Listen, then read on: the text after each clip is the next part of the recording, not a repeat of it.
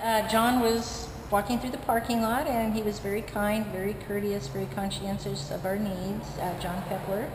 Uh, he's gotten to be a very good friend of ours and we just love him to death. And he hmm. works very hard for you and he will bend over backwards to make sure you get the deal that, that you want.